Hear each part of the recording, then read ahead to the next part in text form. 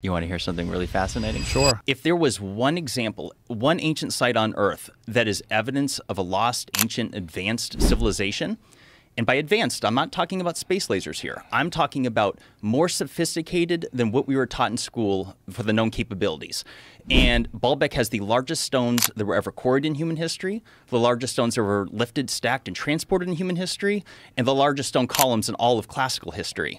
And we're talking th- so the trilithon stones, three stones, 900 tons apiece or 800 metric tons, and they were moved a half a mile from the quarry. They were lifted and stacked approximately 30 feet off the ground.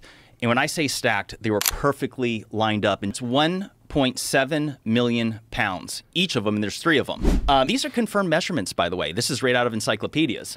But notice how they're completely flush, nice Yeah. and even with each other. And the exceeds the known capabilities of what the Romans had.